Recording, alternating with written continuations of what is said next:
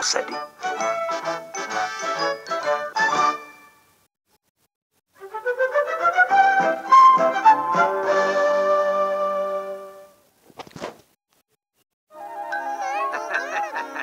No ne, koumáku, něco tak šmoulovatého si ještě nevyšmouli. Děkuju, tať.